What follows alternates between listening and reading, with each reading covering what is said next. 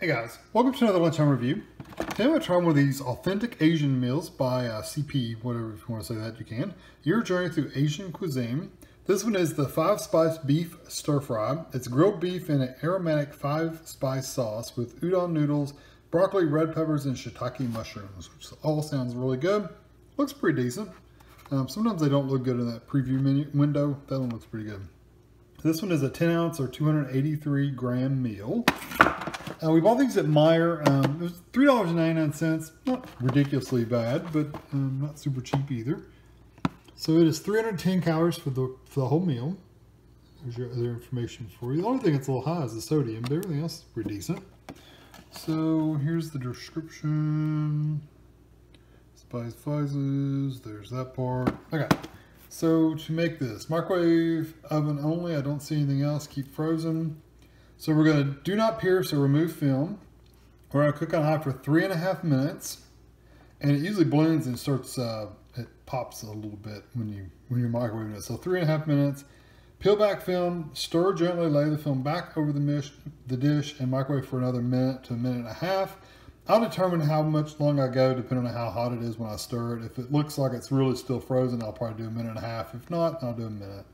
Let stand in one or two minutes and carefully remove film and stir gently and enjoy. So, caution moving hot. Uh -huh. Full time. First full time I've had for a little while, I think. I don't know. Or maybe I've just opened them and I didn't pay attention. Or I just don't remember from yesterday. That happens too. All right. Here is the meal. Quite a bit of broccoli. Um, quite a bit of steak in there too, actually. Um, yeah pretty decent sized meal. So I'm gonna get this in the microwave and I'll be back.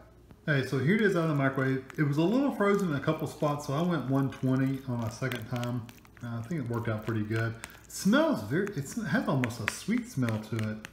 Um, smells good, but it does have a lot of sweetness to it. Maybe it's that steak, I don't, I don't know. Anyway, I'm gonna let this cool off for just a minute. Won't get it too awfully long because um, noodles and stuff cool off pretty quick. But uh, I'll be back. I'll be right back. So here's some steak, broccoli, peppers, noodles. I think I got a mushroom or two in there. Uh, I think I said steak. So here we go.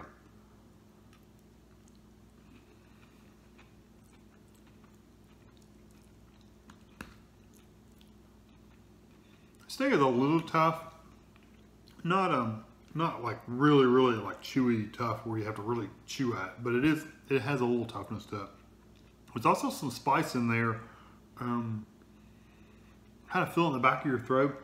Oh, I, I see it has a spice meter. Now, this is on the low end though. It's on the, on the, on the low end, uh, between medium and mild. So it shouldn't be too awfully hot, but it does have a little spice to it. So if you don't like spicy food, you don't want to try this because it will burn your, your mouth a little bit. But um, it doesn't bother me any.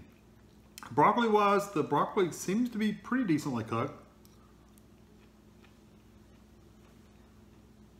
Just a little texture to it. Um, give you a little bit of crunch, but not uh, overly crunchy. Um, overall, it's pretty good. The noodles kind of remind you of really thick spaghetti noodles.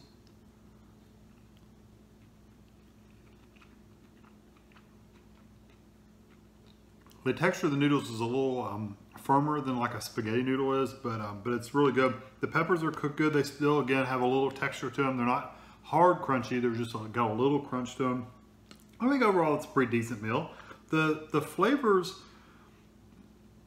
I really just taste the sauce and the peppers. That's what I primarily taste. When you eat a piece of broccoli, of course, you taste the broccoli. But then again, and even when you eat just the broccoli, it's covered up kind of by that sauce. So overall, you're getting mostly the sauce and it's mostly just a peppery kind of flavor. I was getting that smell of like something sweet I think that was in the steak and how it was cooked and what it was cooked in, like seared and whatever.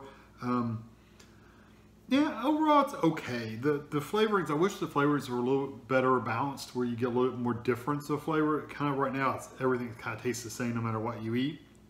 Um, so I wish the flavors were a little more, um, I wish there was a little more variety of flavors. Let me say it that way. Um, I'm gonna give it a three out of five. Though I do think it's good. I like that little tingle in the back of your throat with it, though. Um, I like that. If you don't, then don't eat it. But uh, overall, the flavor is pretty decent. Textures are all really good. Um, definitely worth trying out if you want to try it out, but you're not missing anything if you don't try it out. So three out of five, pretty safe number. Hope you enjoyed this video. Thanks for watching.